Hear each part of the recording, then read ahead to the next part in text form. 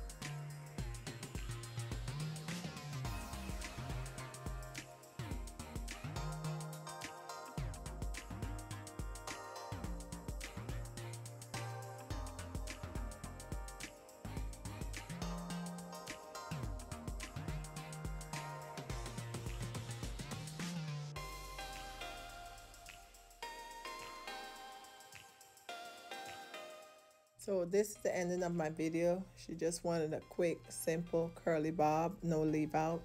So y'all let me know what y'all think about the style. Y'all can leave y'all comment in the comment section. And y'all can give me a thumbs up if y'all like my video. And do not forget about the sale. Do not miss it. For those of you who always miss the sale, here we go. The sale will be back on this weekend from Saturday to Monday. Everything will be half off except the wigs. So thank y'all for watching my video. Until my next video, y'all stay safe and stay blessed.